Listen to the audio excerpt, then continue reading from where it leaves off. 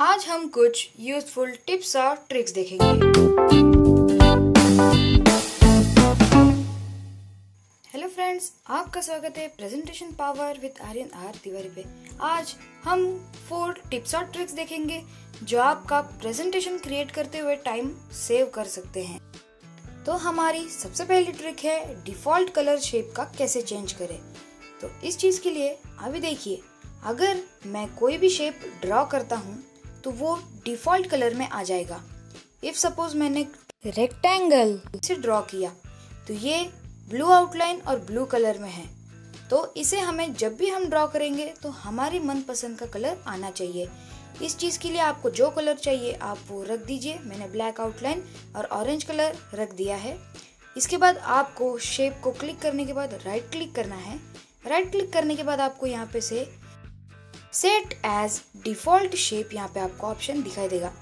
उस पर आपको क्लिक कर लेना है। क्लिक करने के बाद यहाँ पे आप अगर कोई भी शेप ड्रॉ करते हो तो वो आपके मनपसंद जो कलर आपने दिया था, वो इसमें, यानी वो कलर में आ जाएगा। फिर आप कोई भी शेप ड्रॉ करोगे तो वो ब्लैक आउटलाइन और ऑरेंज कलर में ही आएगा। अगर आपने दूसरा कलर दिया हो तो वो कलर में भी आ जाएगा। तो चलिए, बढ़ते हैं सेकेंड ट्रिक की तरफ़। हमारी सेकेंड ट्रिक है कि फॉर्मेट पेंटर को हम कैसे यूज़ करें। तो इफ़ सपोज़ अगर मुझे कोई भी शेप ड्रॉ करने के बाद इसके जैसा मुझे उसे इफ़ेक्ट देना है तो मैं इस चीज़ के लिए पहले सबसे पहले जो भी शेप मुझे वैसा करना होगा, मैं उसे ड्रॉ करूँगा। अभी मैंने यहाँ पे एक रेक्टेंगल लिया है, मैंने इसे ड्रॉ किया। मुझे अभी इसकी तरह मुझे उसे भी करना है तो मैं इस पर क्लिक करूँगा। फॉर्मेट पेंटर होम पेज पर आपको दिखाई देगा।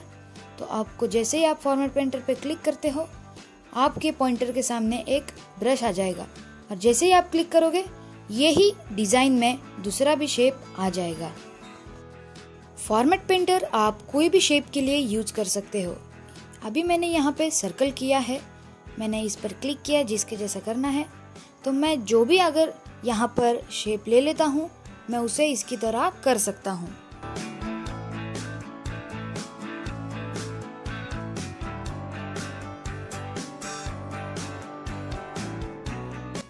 बढ़ते हैं हमारे तीसरे ट्रिक की ओर। हमारी तीसरी ट्रिक है पावर पॉइंट का कलर कैसे चेंज करें? तो इस चीज़ के लिए आपको सबसे पहले फ़ाइल ऑप्शन पे जाना है। फ़ाइल ऑप्शन पे जाने के बाद आपको यहाँ पे नीचे एक ऑप्शन लिखा हुआ दिखाई देगा। सबसे नीचे ऑप्शन पे आप जैसे ही क्लिक कर लेते हो, आपके सामने कुछ इस तरीके की स्क्रीन दिखाई देगी। स्क्रीन दिखाई देने के बाद यहाँ पे आपको बहुत सारी चीज़ें दिखाई देगी कि आप जनरल होगी प्रूफिंग है सेव है लैंग्वेज है एडवांस है, ऐसी बहुत सी चीज़ें आपको यहाँ पे दिखाई देगी। तो यहाँ पे जनरल में आपको ऑफ़िस थीम दिखाई देगा। ऑफ़िस थीम में जाके आपको यहाँ से डार्क ग्रे कर देना है। डार्क ग्रे करने के बाद अगर आप चाहो तो और सेटिंग कर सकते हो। तो यहाँ पे कर लेने के बाद हमें ओके कर देना है। तो आपके पावर पॉइंट का थीम चेंज हो जाएगा।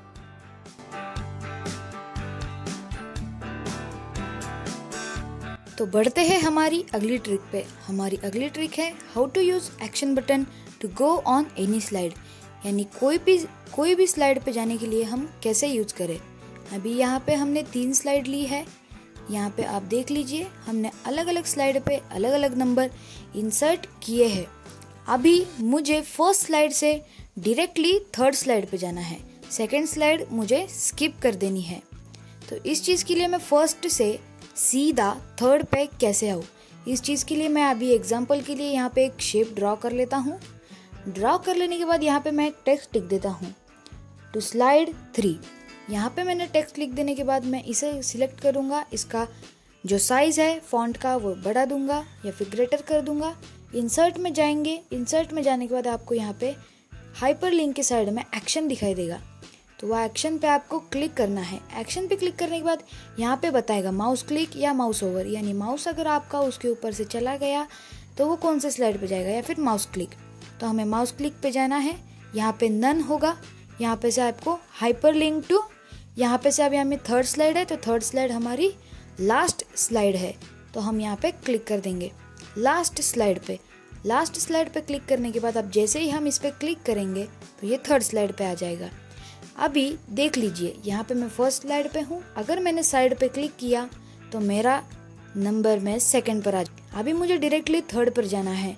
तो मैं इस पर क्लिक करूँगा टू स्लाइड थ्री तो ये सीधा मुझे स्लाइड थ्री पर ले जाएगा।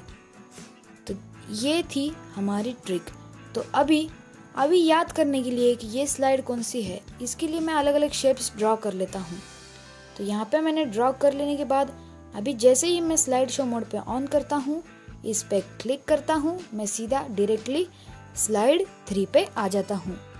अगर आपको वीडियो पसंद आई तो लाइक शेयर और सब्सक्राइब ज़रूर कीजिए ताकि मैं और वीडियोस लाता रहूँ। अभी के लिए बाय